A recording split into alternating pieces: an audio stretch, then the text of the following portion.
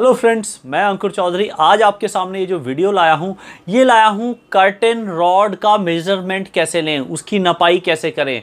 मैंने देखा बहुत लोग काफ़ी ज़्यादा ऑनलाइन परचेज करते हैं तो उन्हें आइडिया नहीं होता है कि वो कितने फिनियर लें क्या क्या चीज़ कितनी कितनी खरीदें और वो कैसे ऑर्डर करें। तो इसके लिए ये आज वीडियो है, या आप किसी नियर बाय स्टोर के पास जाते हैं तो वहाँ भी आप बता नहीं पाते कि कितना एरिया कितनी क्या चीज़ चाहिए।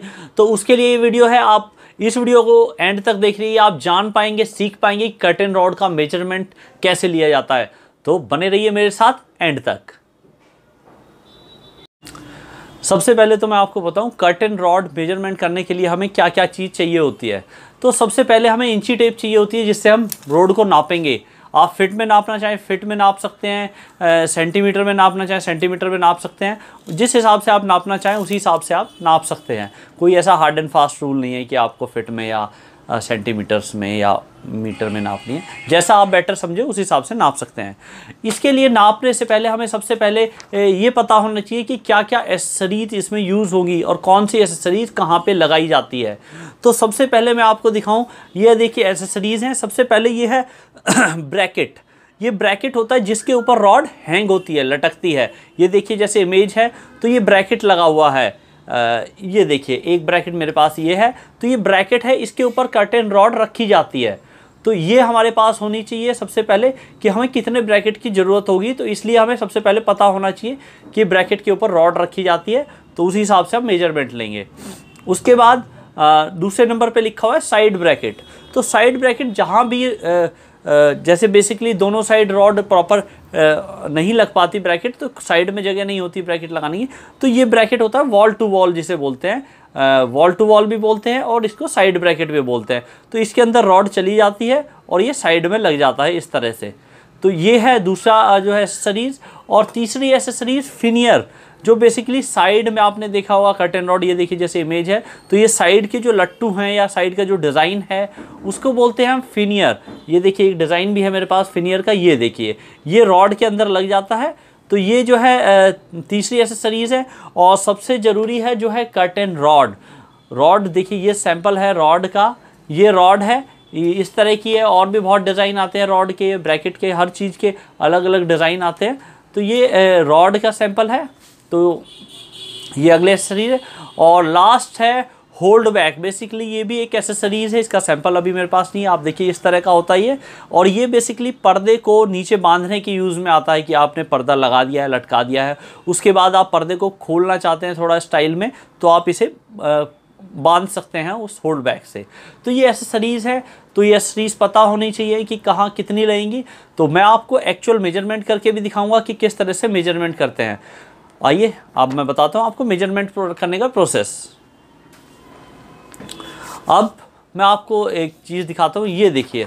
अगर देखिए ये है, अगर ये हमारी विंडो है बीच में, और ये प्रॉपर वॉल है, अगर ये वाइट पेपर आप वॉल समझें, और ये विंडो समझें सेंटर में तो इसका मेज़रमेंट कैसे करेंगे? तो इसका मेज़रमेंट करने का तरीका ये है, हमें ऊपर जो है, जैसे ये अगर वॉल है सीधी तो हमें ऊपर का ये एरिया पूरा प्रॉपर नापना पड़ेगा कि ये कितने फिट है। मैं एक्चुअल आपको नाप के भी दिखाऊँगा कि कितने फिट है। अगर ये देखिए, जैसे ये 10 फिट है, ये विंडो है, हमारी 10 फिट है तो हम बेसिकली इसको 10 फिट ना लेके अगर हम रोड का मेज़रमेंट करेंगे तो हम इसको 10 फिट नहीं लेके हम इसको लेंगे बारह फिट बेसिकली एक फिट इधर बढ़ जाएगी, एक फिट इधर बढ़ जाएगी। मेज़रमेंट कर्टन रॉड का हमेशा इसी तरह से लिया जाता है कि हमेशा थोड़ा एक एक फिट बढ़ा ली जाती है दोनों साइड से।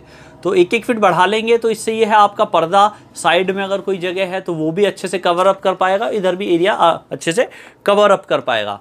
तो ये चीज़ का ध्यान रखें कि एक एक फिट ज़रूर बढ़ा लें। अब जैसे ये है तो हमें इसमें कितने फिनियर की ज़रूरत होगी कितने ब्रैकेट की ज़रूरत होगी कितने वॉल टू वॉल की ज़रूरत होगी।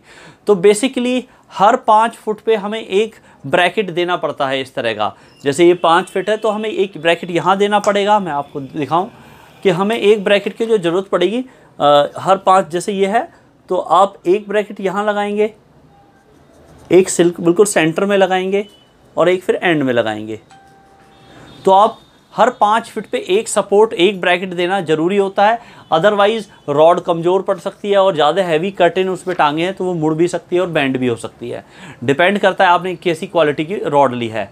हम्म, तो ये चीज़ का ध्यान रखें कि आप जो है फालतू लें हमेशा। एक फिट राइट साइड एक साइड एक फिट लेफ़्ट साइड तो उसी हिसाब से आपको इस रोड के अंदर इस रो, इस रोड के मेज़रमेंट में आपको तीन ब्रैकेट लेने पड़ेंगे। तीन ब्रैकेट लेने पड़ेंगे, जो रॉड लगेगी तो दो इसमें फिनियर लेने पड़ेंगे। फिनियर बेसिकली इस तरह के।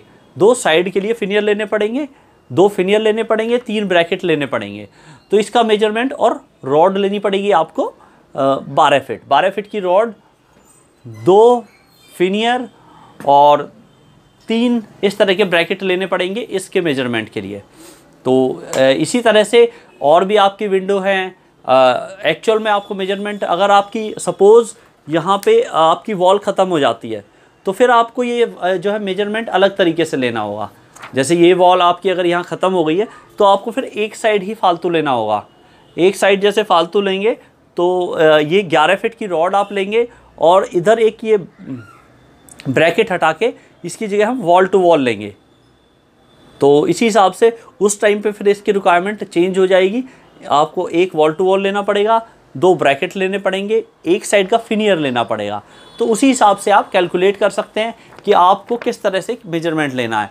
तो पूरे घर में उसी हिसाब से आप मेज़रमेंट ले सकते हैं। आपको जितने ब्रैकेट चाहिए कैलकुलेट करें और लिखते रहें।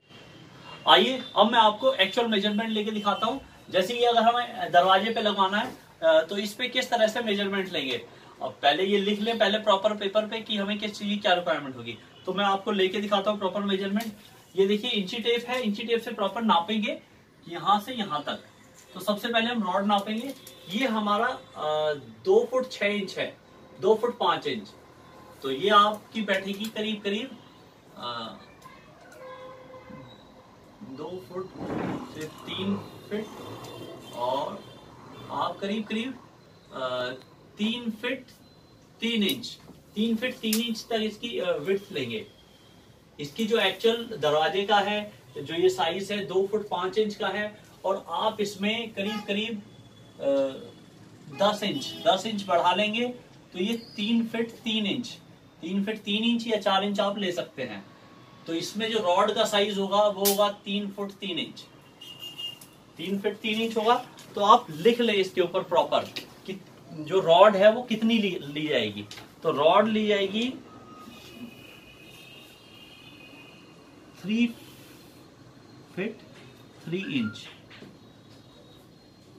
तीन फिट तीन इंच रॉड ली जाएगी। इसमें कितने ब्रैकेट और कितने वॉल टू वॉल आएँगे?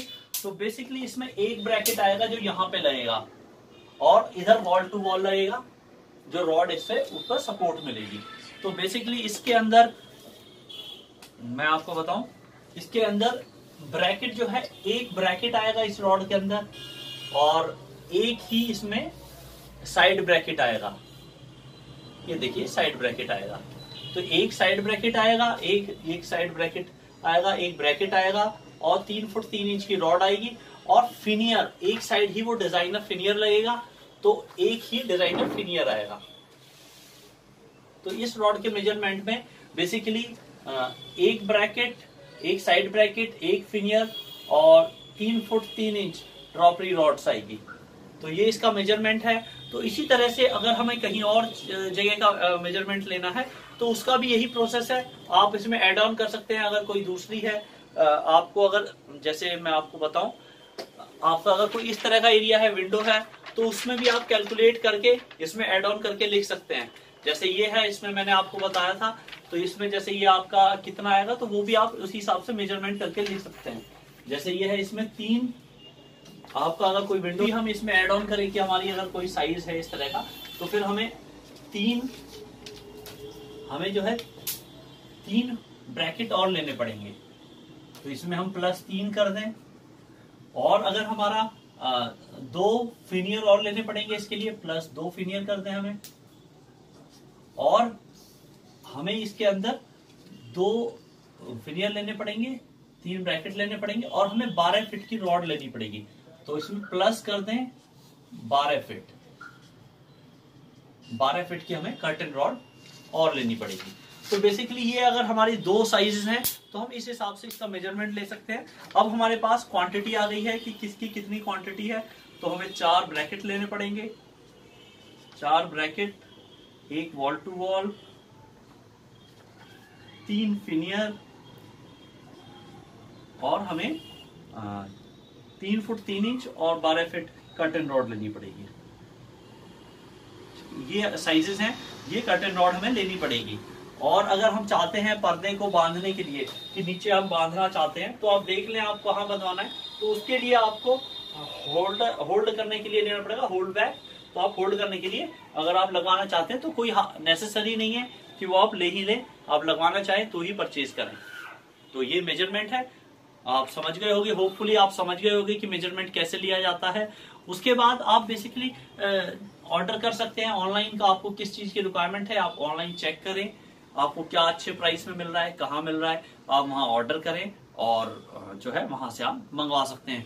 या नियर बाय स्टोर भी आप जाएँ तो वहाँ भी आपके पास अगर प्रॉपर मेज़रमेंट है तो आप अच्छे से चीज़ें परचेज कर पाएँगे और आपकी मनी भी सेव होगी। अगर आप अननेसेसरी कुछ प्रोडक्ट फालतू आ गया या कम आ गया तो आपको इस तरह की प्रॉब्लम नहीं फेस करनी पड़ेगी। आपको जितनी रिक्वायरमेंट है, आप उसी तरह का उतना ही मटेरियल परचेज करेंगे। बाकी इंटीरियर रिलेटेड वीडियो इस तरह की वीडियो मैं लाता रहता हूँ अपने चैनल पे इंटीरियर के प्रोडक्ट्स की इंटीरियर की जानकारी। अगर आप कोई ऐसी वीडियो देने में, देखने में इंटरेस्ट है तो हमारे चैनल को सब्सक्राइब कर लीजिए और आप चाहते हैं ये वीडियो और ज़्यादा से ज़्यादा लोग देखें, समझें और सीख पाए तो ये उन्हें शेयर कीजिए। कीप लाइक परफेक्ट फ्लोर और खुश रहिए। जय हिंद, जय भारत।